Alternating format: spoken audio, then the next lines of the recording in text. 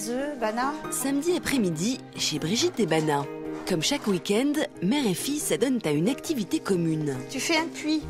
Mais j'essaie, à chaque fois ça fait Alors, des regarde grumeaux, bien. des grosses bulles bizarres. Après, tu, tu crèves tes, tes œufs. À 15 ans, Bana est la petite dernière d'une grande fratrie. Voilà. Hein, Je te dirai stop. Je te dirai d'en remettre. Vas-y. On passe euh, beaucoup plus de temps ensemble, je pense, que quand euh, ils étaient 6 à la maison. Et euh, puis j'aime bien l'avoir euh, pour moi.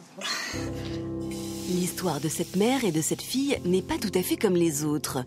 Au départ, rien ne prédestinait Brigitte à devenir la maman de Bana.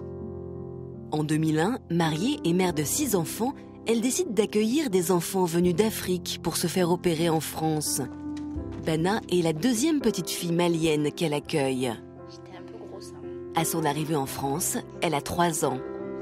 Ça, c'est le jour où tu es Ouais, avec le sifflet. là. Alors, Bana, avec ses deux, ses deux nounours, ses deux couettes et ton sifflet. que Ina m'avait mis autour du cou, elle m'avait dit Ouais. si tu te perds, tu siffles et Tu on te retrouvera.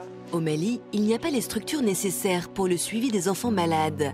Alors lorsque la maman biologique de Bana supplie Brigitte de la garder en France pour sa survie, elle accepte sans hésiter. Ça a été ma maman tout de suite parce que c'est elle que je voyais tous les jours, qui s'occupait de moi, était à l'hôpital avec moi, donc euh, voilà. Je me suis bien située en tant que maman de Bana à 100%. Même, euh, je vais dire, euh, 200%. Mais euh, j'ai aussi euh, toujours gardé euh, en moi le fait qu'elle a une, deux- une autre maman au Mali. Et pour moi, c'est complémentaire. Bana vit avec deux mamans. Il n'y a pas d'ambiguïté. Pour garder un lien avec sa maman malienne, il y a Internet. Bana appelle sa famille biologique dès qu'elle le peut. Aujourd'hui, c'est sa grande sœur Sanata qui décroche. Allô, tu m'en- tu m'entends? Oui, Ça va? Ça va. Ça s'est bien passé la journée? Oui, ça s'est bien passé. J'étais en train de ranger, tu vois, la chambre de papa et maman, nettoyer un peu. Quand Bana est restée en France, j'avais- on s'est dit que c'est ce qui est mieux pour elle en fait. C'était très difficile pour nous et même maintenant, des fois, elle nous manque. Mais bon, on s'est tellement adapté que voilà, elle est devenue la Bana de Brigitte. J'aimerais l'avoir plus à la maison. On ne peut que faire avec. Eh bien, Ina et maman, elles sont là. hein. Ah bon? Oui. Ah bon, ça va alors, c'est cool, je vais pouvoir les voir. Mariam, sa maman malienne, la voici.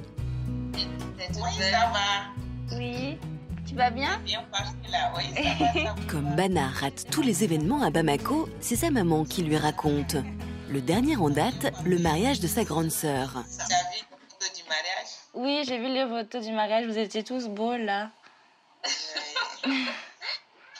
toi celle qui nous manquait. vraiment. Oui, franchement, j'étais trop triste. Pas grave, quand tu vas venir, on va organiser une petite fête. Oui. Ta maman, elle va bien? Oui, elle va bien. Mariam demande toujours des nouvelles de Brigitte, car elle a énormément de gratitude pour elle. Les mots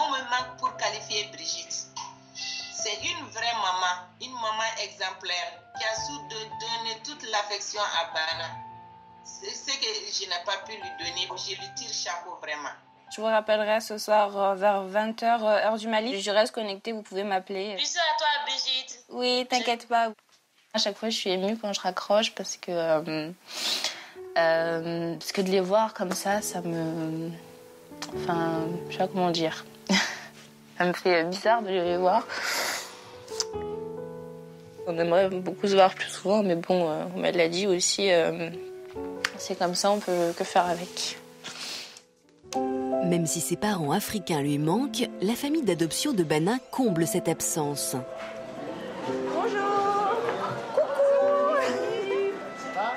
Comme tous les week-ends, ceux qui le peuvent, frères, sœurs ou cousins, se réunissent dans le centre-ville de Montpellier. Oui, tout le monde va bien, ça va. Ouais, j'ai mon papa, ma maman. Une tribu qui l'a accueilli à bras ouverts. Mariana, sa grande sœur, l'a tout de suite prise sous son aile. On lui a donné tout l'amour qu'on pouvait lui donner, on lui a appris à parler, on lui a fait goûter des trucs qu'elle avait jamais mangé. Enfin voilà, on l'a intégré du mieux qu'on pouvait. Quoi. Mm. Et bon, c'est plutôt pas mal réussi en plus. La vie a fait qu'elle est restée et que ben, on a gagné une sœur quoi et c'était cool. voilà. C'est mes frères et sœurs à part entière, au même titre euh, que les frères et sœurs que, que j'ai au Mali. 12 ans après l'arrivée de Bana, Brigitte est une maman comblée. Ma plus grande fierté avec Bana, c'est de la voir heureuse, à l'aise, de la voir, euh, on va dire, euh, comme un poisson dans l'eau, que ce soit ici en France ou au Mali avec sa famille du Mali.